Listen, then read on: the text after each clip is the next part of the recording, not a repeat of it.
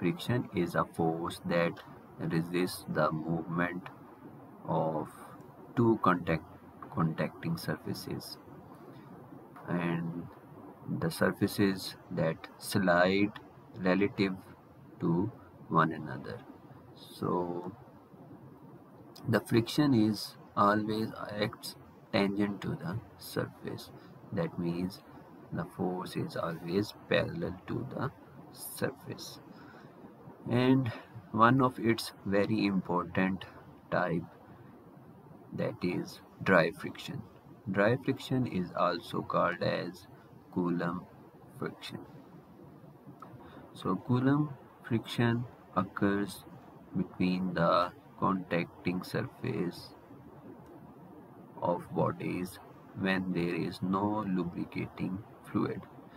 So this is very common type of friction and uh, in our daily life there are too many bodies which do not involve lubricating fluids impending motion means that when this block will start to move when this force P is greater than the frictional force. When this P force becomes greater than this frictional force which is opposite to this applied force and it is opposing the motion of this block and it when it, this P force becomes greater than uh, frictional force this block will start to move so a certain maximum value is called limiting static frictional force. Fs stands for limiting static frictional force and it, this is the maximum frictional force that can occur in this type of block. So mu s is the coefficient of static friction and n is the normal reaction of the force. So n is the normal reaction of this force which is equal and opposite to the weight of this body where this resultant r which is the resultant of frictional force and normal force. And phi s is the angle and it can be determined by using tan inverse. We know in the front of angle it is perpendicular this is perpendicular and which is uh, fs and this is base which is n. N is base. So tan inverse is equal to perpendicular over base. So fs over n is is equal to tan phi.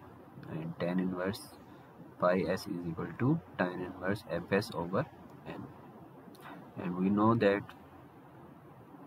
fs is equal to mu s n.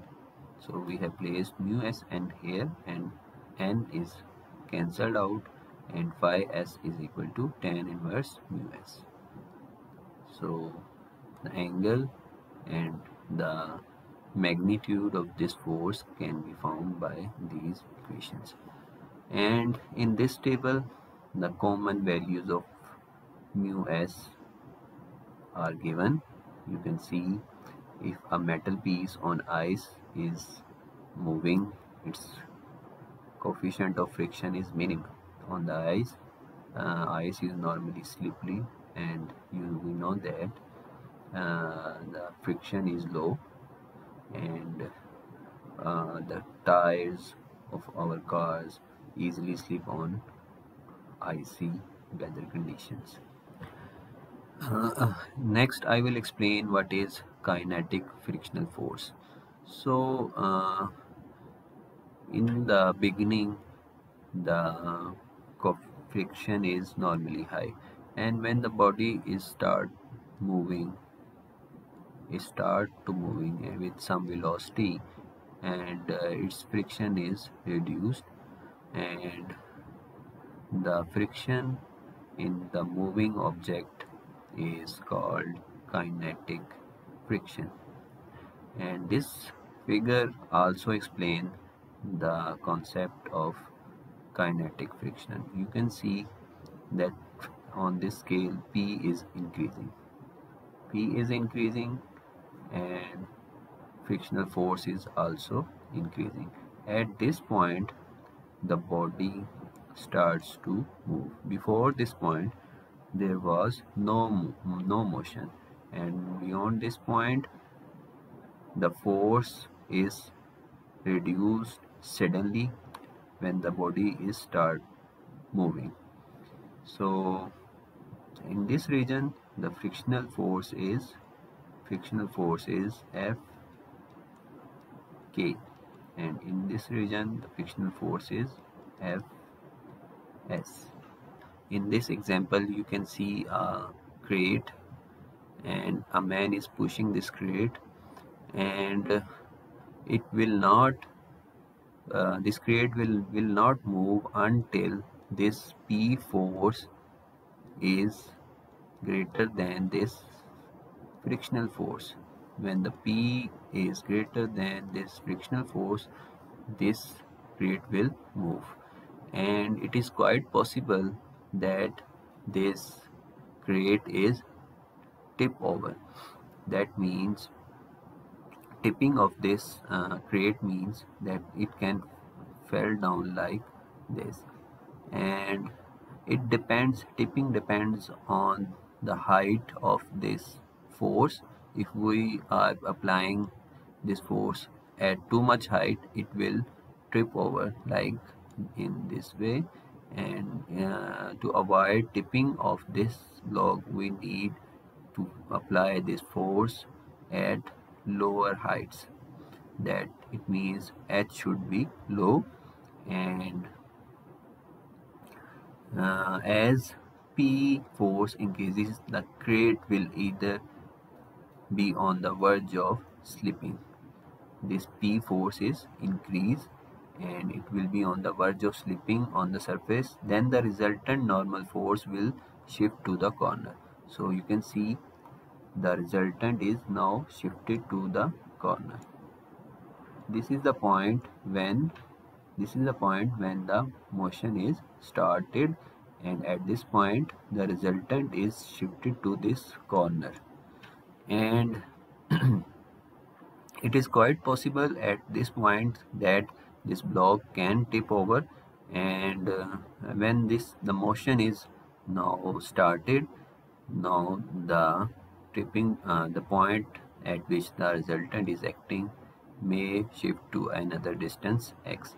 So in the example we'll find this distance x as well. So x is the distance at which the resultant of this frictional force and normal force is acting. So now uh, we'll solve this example uh, to understand the concept further. In this example the uniform crate shown in figure has a mass of 20 kg. So the mass is 20 kg and its weight will be equal to 20 multiplied by 9.81 which is equal to 196.2 newton if a force force is acting in the uh, in a direction 30 degree with the horizontal is applied to the crate determine if it remains in equilibrium. So uh, we need to determine either it will this box will move or not due to this force. And coefficient of static friction is also given as 0.3 so we have equilibrium equations and we know in the x direction there is 80 cos 30 and the opposing force F is equal to 0 and this is second equilibrium equation and the force is in the y direction. This is the y component of this p force p sine 30 which is in the downward direction. So with negative sign p sine 30 minus its weight which is 196.2 this is the weight of this block which is in the downward direction. That is why with the negative sign plus its normal reaction which is on the upward direction is equal to 0 then uh, we will take moment about point O which is equal to 0 and this x component of this p force has a perpendicular distance of 0.2 meter and it will rotate the box in this clockwise direction.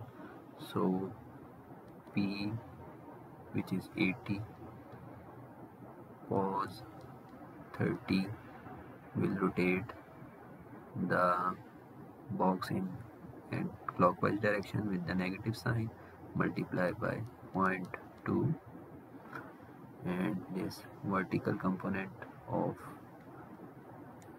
this p force which is p 80 sine 30 and it has a perpendicular distance of 0.4 and it will rotate in the anti-clockwise direction.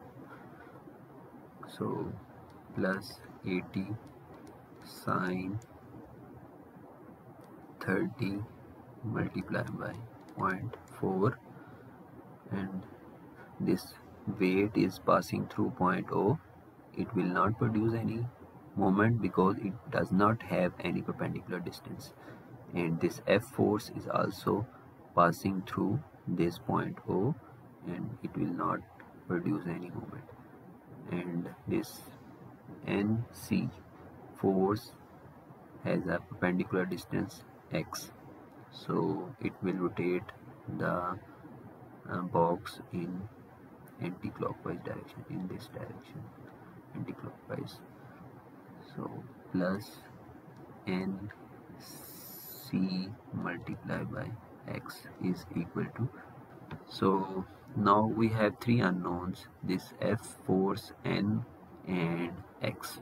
So if we solve these three equations simultaneously we'll get the answers of f n c and x and after solving these three equations simultaneously we will get the answers which are the frictional force is 69.3 NC is equal to 236.2 and X is negative 9.08 millimeter. This is Newton. Newton and the maximum frictional force is equal to mu s n. And we know mu is given is 0.3 and multiply by n. n is found as 236 so this is equal to 70.9 newton as this is the maximum frictional force this is maximum. And this maximum frictional force is greater than this frictional force which is being found. So the box will not move. As 70.9 is greater than 69.3 so it means that box will not move. Because the force P is somehow less than the frictional force. And will if we want to move this box we need to increase this 80 newton force further. Thank you